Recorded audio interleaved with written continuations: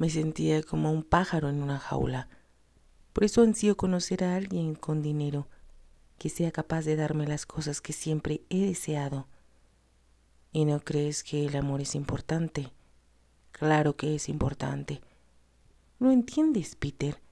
¿No te das cuenta de que si me caso contigo siempre lamentaré que no puedas darme las cosas que tanto deseo? Con el tiempo terminaría por odiarte. ¿Para qué lanzarse deliberadamente hacia una vida desdichada? contestó Marigold con voz quejumbrosa. La noche pareció envolverlos y Peter de pronto la abrazó con más fuerza. Nenita tonta, dijo con suavidad, ¿crees que el dinero puede comprarte esto o esto? Le puso la mano bajo la barbilla, la hizo inclinar la cabeza hacia atrás hasta apoyarla contra su hombro y volvió a besarla, esta vez con brusquedad, y, sin embargo, Marigold no pudo menos que conmoverse ante aquel beso. Por un momento se resistió, pero luego empezó a besarlo también. Lo besó hasta que se sintió palpitar bajo los labios de él. Peter la soltó repentinamente. Esa es mi respuesta, Marigold, dijo. Sin decir una palabra más, puso en marcha el automóvil y condujo a Marigold a su casa desplegando una velocidad y una osadía que la habrían asustado en otras circunstancias. El automóvil se detuvo frente a la cabeza del sarraceno. Buenas noches, Marigold. A ella le pareció que había un tono burlón en la voz de Peter. Maquinalmente tomó su sombrero y su bolsa de mano y lo miró. Buenas noches, Peter. Y en un tono extraño le preguntó, ¿Qué vas a hacer? Casarme contigo. No te lo dije ya. Marigold bajó a toda prisa del automóvil como si quisiera escapar del hechizo que él ejercía sobre ella. Cerró con brusquedad la puerta del auto, sacó su llave e introdujo la llave en la cerradura de la puerta. Se volvió de pronto y, sin poder contenerse, lo desafió. Tendrás que esperar mucho tiempo, exclamó y abrió la puerta. Al cruzar el umbral oyó la respuesta de Peter. No, Tú serás la que hará eso, querida mía. Marigold cerró la puerta tras ella y escuchó cómo se alejaba el automóvil. Sally descubrió que, gradualmente, Elaine iba mostrándose menos reservada con respecto a su madre muerta. Sin duda, el hecho de evitar hablar de su madre había producido en ella un extraño complejo. Sally notó, cuando comenzó a enseñarle, que se negaba a oír hablar de madres o de niños, y ello la había alejado de los pocos amigos de su propia edad con quienes podía jugar. Al principio a Sally le resultó difícil comprender esta actitud, pero poco a poco se dio cuenta de que Elaine ansiaba ser como los otros niños y tener una madre que la acariciara y la mimara. Con exquisito tacto, Sally se propuso derribar la barrera que impedía a Elaine ser una niña normal. Fue difícil lograrlo, porque había comprendido, al conocer a Robert Dunstan, que él no era, en modo alguno, un padre normal. No había vuelto a hablar con él después de su entrevista inicial. Ya se había marchado cuando ella llegaba al apartamento por la mañana, y cuando ella se retiraba él no había llegado aún. Pero notó que su nombre aparecía con frecuencia en las columnas financieras de los periódicos y dedujo que estaba enfrascado en alguna importante operación. Y eso sin duda la, lo mantenía tan ocupado que no tenía siquiera tiempo para dedicarlo a su hija. A menudo se preguntaba si Elaine sentiría cariño por su padre, ya que lo veía tan poco, y por fin empezó a comprender que Robert Dunstan era lo único estable en su pequeña existencia, y que se aferraba a una imagen idealizada de él, tratando de protegerse a sí misma. Como hija de Robert Dunstan, Elaine tenía una gran inteligencia y sabía adoptar una actitud de crítica respecto a la gente que la rodeaba.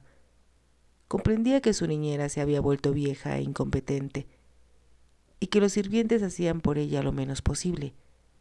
Pero para su padre solo tenía alabanzas, y sentía por él, al menos en apariencia, un amor muy emocional. Poco a poco Sally se dio cuenta de que Elaine repetía comentarios que se suponía que había hecho Robert Dunstan, pero que resultaban demasiado exagerados para ser verdaderos. Un hombre vino anoche a ver a mi papá, anunció Elaine cierta mañana, y le preguntó si tenía joyas. Esta es mi joya, contestó papá, señalándome a mí. Esta versión moderna de una vieja anécdota que Elaine había aprendido en sus lecciones unos días antes confirmó las sospechas de Sally. Estuvo a punto de llorar al comprender que la niña tenía que inventar esas cosas para tratar de probarse a sí misma que su padre la quería. Decidió tener una entrevista con Robert Dunstan, pero durante más de una semana él evitó su presencia, hasta que una mañana volvió temprano a casa y se encontraron en el vestíbulo cuando él salía del elevador. A Robert Dunstan le costó trabajo reconocerla, y cuando Sally le pidió que hablaran para terminar los asuntos que habían dejado pendientes en la entrevista anterior, él se disculpó aduciendo que tenía demasiado trabajo ese día. Sally se pasó el día tratando de conseguir que las lecciones de Elaine fueran originales e interesantes. Aún quedaba una tarea por realizar, y aunque ya estaba cansada, decidió, después de tomar el té, preparar los juguetes que pensaban enviar a un hospital infantil. Como había perdido las esperanzas de poder discutir el asunto con el señor Dunstan, confió en la palabra de Elaine, quien le aseguró que su papá no se opondría a la idea, de modo que hizo arreglos para que esa tarde enviaran una camioneta del hospital a recoger todos los juguetes y los muebles que la niña ya no deseaba. Elaine y ella se dedicaron a preparar las cosas, y cuando la camioneta llegó a las cinco en punto y se llevó todo, Elaine lanzó una exclamación al ver que el salón había quedado casi vacío. Hasta parece más grande, ¿verdad, señorita Grenville? Nos da más espacio para movernos, contestó Sally. ¿Dijo tu papá que podíamos comprar el escritorio que necesitas? No se lo he preguntado todavía. Sally miró sorprendida a Elaine. Pero, ¿le dijiste que ibas a regalar tus juguetes? Le dije algo sobre eso, contestó Elaine con inquietud, y añadió después con franqueza, pero no creo que haya estado escuchando. Oh, Elaine, exclamó Sally reprochándole. Miró a su alrededor y se preguntó si no habría excedido, se habría excedido en sus deberes, al haber regalado tantas cosas. No se preocupe, señorita Grenville, dijo Elaine. A papá no le importará esto. A él no le importa lo que yo haga, mientras no lo moleste. No debes decir esas cosas, replicó Sally automáticamente. Pero es la verdad, insistió Elaine, y usted me ha dicho que siempre debo decir la verdad. En ese momento se abrió la puerta y entró Robert Dunstan. Hola, papito, exclamó Elaine. Qué bueno que has venido a verme. Corrió hacia él y Robert Dunstan la besó con aire distraído. ¿Qué es esto que he oído acerca de que regalaste tus juguetes? Bates me informó que vino una camioneta de un hospital infantil a recogerlos. Así es, contestó Elaine. Soy demasiado grande ya para jugar. Quiero que me regales un escritorio, papito. Esta habitación no se llamará ya más el cuarto de los niños, sino el salón de clases. Vaya. Robert Dunstan parecía más serio que nunca. ¿Y quién ha tomado todas estas importantes decisiones. Hubo un breve silencio que interrumpió Sally al decir, pensé que Elaine ya le había pedido autorización para regalar sus juguetes. De cualquier modo, ya es demasiado grande para ellos. Creo que ha llegado el momento de que usted y yo hablemos, señorita Grenville. Tiene la bondad de venir a mi estudio. Sin esperar a que Sally contestara, se dirigió al corredor y Sally se volvió hacia Elaine. Empieza a hacer ese dibujo que me prometiste, dijo. No espero tardar demasiado. Elaine dirigió una mirada a Sally y después a la espalda de su padre cuando se alejaba. No se deje asustar por él, dijo en un leve murmullo. No lo haré, prometió Sally. Con la cabeza muy en alto, siguió al señor Tunsten al estudio. Él, sentado ya en su escritorio, le indicó una silla a Sally. Siéntese, señorita Grenville. Sally hizo lo que le ordenaba. Creo que lleva usted ya tres semanas como la institutriz de Elaine, dijo el señor Tunsten. Lamento mucho que las presiones de los negocios me hayan impedido discutir varios aspectos de la educación de mi hija, pero esta ha sido una época muy activa para mí. Solo ahora puedo prestar atención a algo que considero de extrema importancia y que se refiere al plan general para educar a la niña. Robert Tunsten tomó un lápiz y anotó algo en una libreta. Cuando contraté a la señorita Harris, le expliqué con claridad cómo quería que educara a mi hija. Supongo que ella no le transmitió a usted esa información. Le estoy muy agradecido, señorita Grenville, por haberse hecho cargo de Elaine de una manera tan repentina y sin ninguna orientación de mi parte. Sin embargo, tengo ideas muy bien definidas acerca de cómo debe ser educada. Por eso no apruebo algunas de las cosas que usted ha hecho. Ante todo, Elaine es todavía una niña. No se le debe alentar a que se crea mayor o a que crezca demasiado rápido. No creo que Elaine se porte como una niña mayor, protestó Sally. En realidad, pienso que es demasiado aniñada para su edad. Tanto mejor, y no veo razón para cambiar eso. Vamos, señor Tunsten. Elaine es demasiado grande para jugar con muñecas. Ya sé que usted le trajo una muñeca muy linda de París. Pero, ¿cree acaso que jugará con ella? Elaine tiene casi once años. Quiere cosas más importantes que muñecas para ocupar su mente. El señor Dunstan dejó el lápiz y golpeó el escritorio con la mano. No estoy de acuerdo con usted, señorita Grenville. Elaine es una niña y se le debe permitir disfrutar como tal. Y se sentirá muy feliz, como lo ha sido siempre entre todos los juguetes que le gustan a todos los niños, incluyendo las niñitas. Las niñitas de tres o cuatro años sí, observó Sally, pero no las niñas de la edad de Elaine. Además, ella es muy inteligente y he podido darme cuenta de que nunca han permitido que su cerebro se desarrolle. En lo que a lecciones ordinarias se refiere, sabe mucho menos que los chicos promedio de su edad. Al mismo tiempo, aprende todo con rapidez. Creo que se le debe dar la oportunidad de desarrollar su inteligencia como es debido. Robert Tunsten hizo un gesto impaciente. No estoy de acuerdo en modo alguno con usted, señorita Grenville. Y como Elaine es mi hija, debo insistir en que mis ideas predominen sobre las suyas. Señor Tunsten, no lo entiendo. ¿Está sugiriendo que debo retrasar deliberadamente el desarrollo de Elaine? Robert Dunstan tamborileó los dedos en el escritorio. No exactamente, señorita Grenville. Me temo que no quiere ver mi punto de vista. Quiero que Elaine sea educada como cualquier otra niña, interesada en las cosas propias de su edad. Quiero que sea una niña normal. ¿Está eso claro? Esa es la única cosa que nunca ha tenido oportunidad de ser, replicó Sally con decisión. ¿Tiene idea de cómo es la vida de Elaine? ¿Sabe cómo se le trata cuando no está usted aquí? Creo que Elaine es la niña más solitaria, el caso más patético de una criatura descuidada que he encontrado en mi vida. ¿Descuidada? preguntó Robert Dunstan con voz aguda. Sí, descuidada. Su niñera quiere mucho a Elaine, pero es demasiado vieja. Los sirvientes son perezosos y no son supervisados por nadie. Además, considera la compañía de los sirvientes como lo único deseable para una criatura de diez años. Elaine no tiene amigos ni intereses, nada para ocupar su mente o hacerla feliz. Lo quiere mucho a usted, pero ¿con qué frecuencia lo ve? Se detuvo un momento antes de añadir, echa mucho de menos a su madre.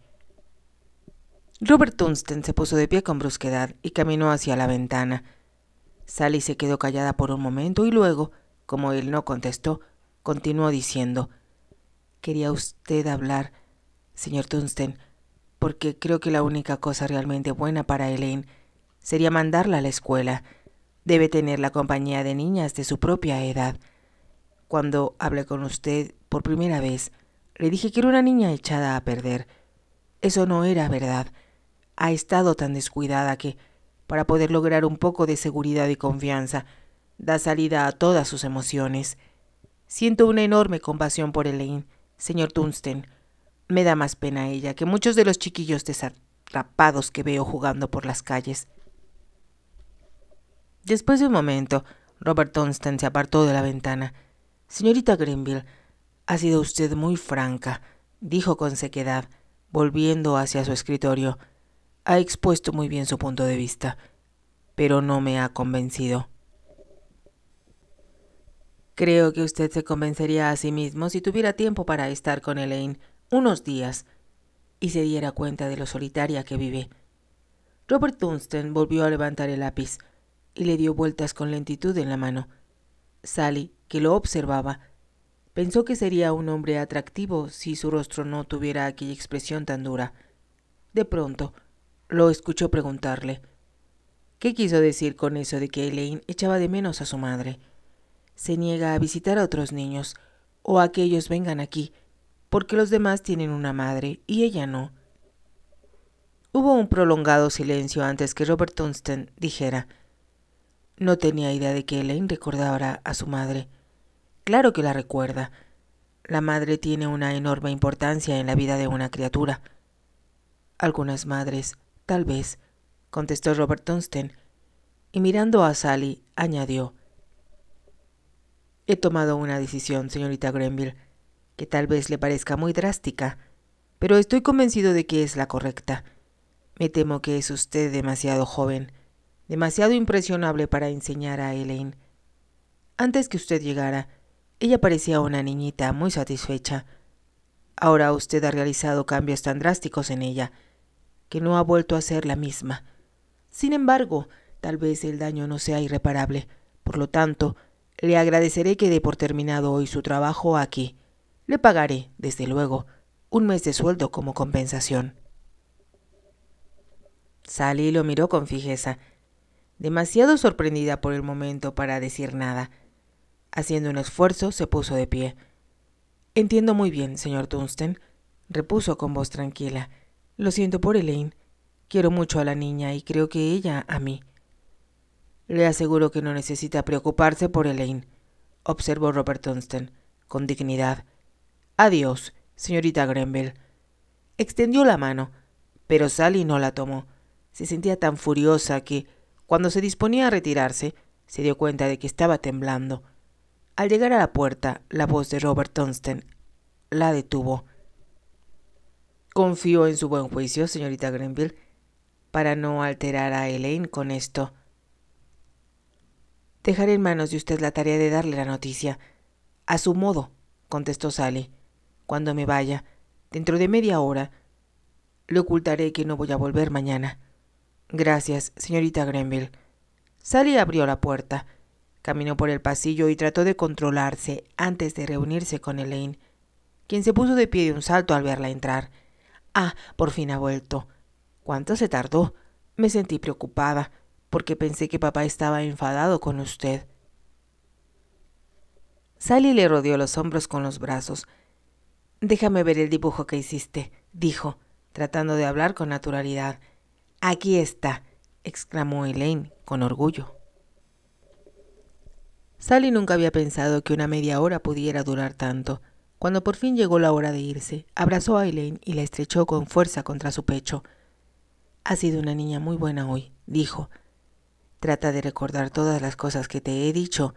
Sé bondadosa con la gente. Nunca seas grosera. Elaine asintió con la cabeza. Claro que lo seré, pero no se olvide que me prometió llevarme a la Torre de Londres. Sí, lo prometí, repitió Sally con voz ronca. Al levantarse de su silla, se puso el sombrero y los guantes. Sé una niña buena. Soy tan buena que merezco un premio, repuso Elaine riendo. Él hace un brazo al de Sally y la acompañó hasta el elevador. Como papá llegó temprano, tal vez tenga tiempo de hablar conmigo esta noche. Sí, ve a conversar con él, sugirió Sally. Hasta mañana, señorita Grenville, dijo Elaine, antes que el portero cerrara la puerta del elevador. Sally salió corriendo del lujoso edificio donde había encontrado y perdido su primer empleo. y volvió a casa llena de desventura. La señora Jervis la detuvo cuando abrió la puerta del frente. Hay un caballero esperándola, querida. Es su amigo, el doctor. Oh, es David, exclamó Sally. Gracias, señora Jervis. Subió corriendo por la escalera y encontró a David sentado en el sillón, con la cabeza hacia atrás y los ojos cerrados. Despertó con un estremecimiento cuando ella abría y cerraba la puerta al entrar. Hola, Sally. Siento mucho haberte despertado. Cerré los ojos por un momento. Estuve de guardia anoche. Me da mucho gusto verte, dijo Sally.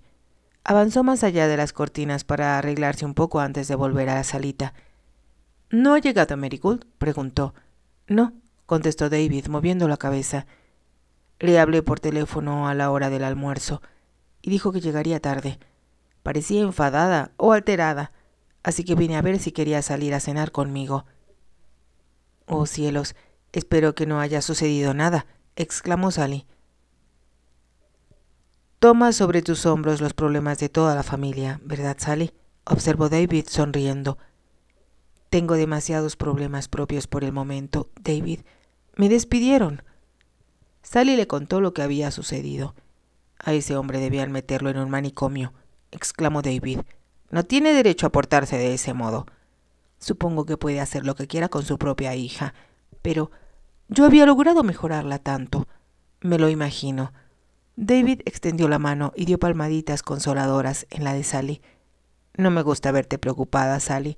Siempre pienso en ti como en la niñita de los grandes ojos, a quien Annie y Marigold reñían porque no podía hacer todavía lo que hacían ellas. Pero he crecido, David, dijo Sally con tristeza. Es una pena que así haya sido.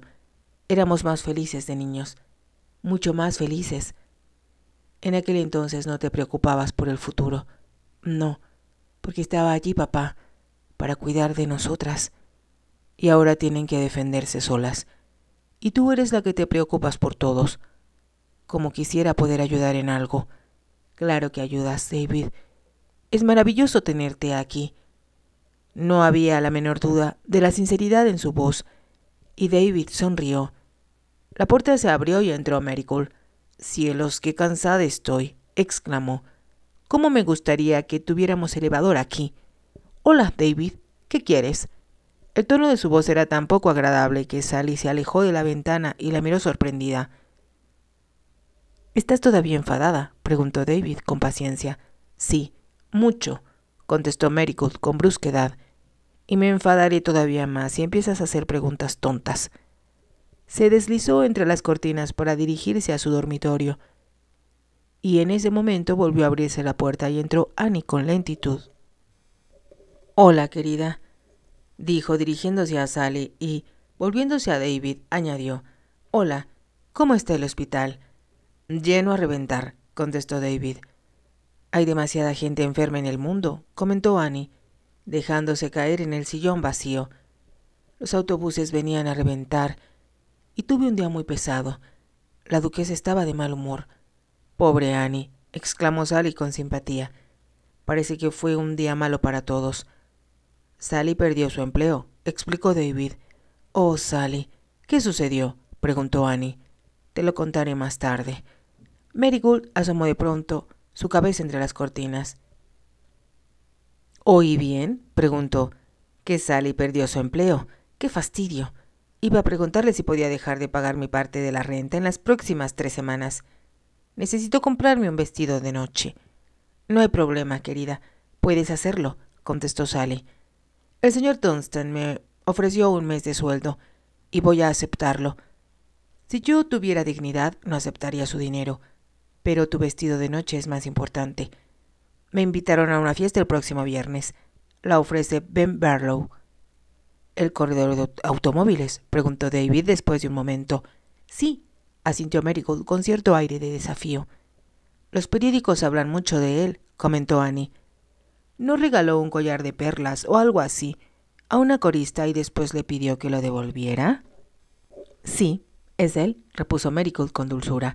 Es un hombre muy rico y voy a ir a su fiesta. Sally no dijo nada.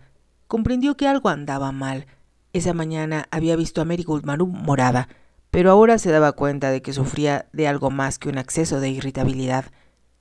La observó cuando hablaba con los otros y notó que sus movimientos eran inquietos y nerviosos. Sally no tomó parte en la conversación. Además de la inquietud que le causaba el estado de ánimo de Marigold, estaba preocupada por Elaine, preguntándose cómo reaccionaría cuando supiera la noticia de su despido. El reloj sobre la chimenea señalaba las siete y media, y Marigold aceptó salir a cenar con David. No parecía muy entusiasmada con la idea, pero David, en cambio, estaba muy contento. Gané una apuesta, dijo. No fue una fortuna, pero me permite invitarte a un lugar elegante. ¿Qué te parece el Berkeley Grill? Llévame a cualquier lugar, menos allí, replicó Marigold con voz aguda. Sally la miró desconcertada pero Marigold volvió la vista hacia otro lado. Una vez que su hermana y David se marcharon, Sally se sentó en el sillón y miró a Annie, sentada frente a ella. Creo que será mejor que salgamos a comer algo. He estado pensando, dijo Annie, que los Jervis podrían dejarnos instalar una estufa eléctrica en ese pequeño cuartito que hay en lo alto de la escalera. Tiene ventana. Si pudiéramos cocinar allí, nos ahorraríamos el trabajo de salir todas las noches. Sally lanzó una exclamación. Annie, qué magnífica idea. Como no se me había ocurrido a mí. Tú siempre estás pensando en todo, comentó Annie sonriendo. Creo que ya es tiempo de que te ayudemos un poco, Sally. Es una espléndida idea, repitió Sally con entusiasmo. Hablaré con la señora Jervis en la mañana. Debe estar ahora muy ocupada en el bar. Ahora vamos a cenar. Salieron a la calle. Era una noche cálida, sin la menor ráfaga de viento. ¿Puedes imaginarte cómo será esta noche en Sechitas? preguntó Sally. ¿No lo echas de menos, Annie? Algunas veces, aunque me gusta mucho Londres. ¿A ti no? No, contestó Sally. Londres no me gusta y yo no le gusto a él. No te preocupes por lo de tu trabajo. Le pediré a la duquesa que nos ayude a buscarte un puesto adecuado. Ella conoce a mucha gente. Estoy segura de que no pasará mucho tiempo sin que encuentre algo, asintió Sally, con más confianza de la que en realidad sentía. Empezaba ya a oscurecer y estaba soplando un poco de viento procedente del río cuando volvieron a la casa. Las calles se encontraban casi vacías, pero las ventanas de la cabeza del sarraceno estaban muy iluminadas. Escucharon voces y risas al pasar frente a ellas. Los Jarvis están haciendo buen negocio, comentó Annie con una sonrisa. Dieron vuelta a la esquina, en dirección a su propia puerta, y fue entonces cuando Sally vio una pequeña figura que esperaba afuera. La miró con fijeza y lanzó una exclamación. Elaine, ¿qué haces aquí? La niña se volvió hacia ella y lanzó un grito de alegría. Oh, señorita Grenville, llamé a la puerta muchas veces y nadie contestó. Comprendí que había usted salido. Sally vio que tenía los ojos hinchados y enrojecidos. Había todavía huellas de lágrimas recientes en sus mejillas húmedas. Sally llevó a Elaine arriba, y cuando llegaron a la intimidad de la salita del desván, la abrazó y le dijo, Ahora, queridita, cuéntame todo lo que pasó. Elaine empezó a llorar convulsivamente, echó los brazos al cuello de Sally y la abrazó con la apasionada fuerza de un niño desesperado, Tranquilízate, queridita, no llores, todo se va a arreglar, no llores más. Por fin Elaine se tranquilizó un poco. Sally se sentó en un sillón, con Elaine en su regazo, mientras Annie le preparaba una naranjada. Bebe esto, queridita, le dijo Sally a Elaine. Tratando de ponerla más cómoda, le desabotonó el abrigo y entonces lanzó una exclamación de sorpresa, porque Elaine solo llevaba puesto su camisón de dormir. Papá me mandó a la cama, explicó Elaine, y empezó a llorar de nuevo.